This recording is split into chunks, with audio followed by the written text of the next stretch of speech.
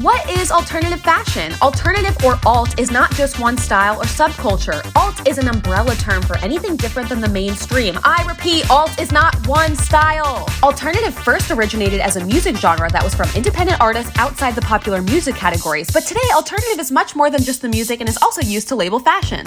And what are the alt styles?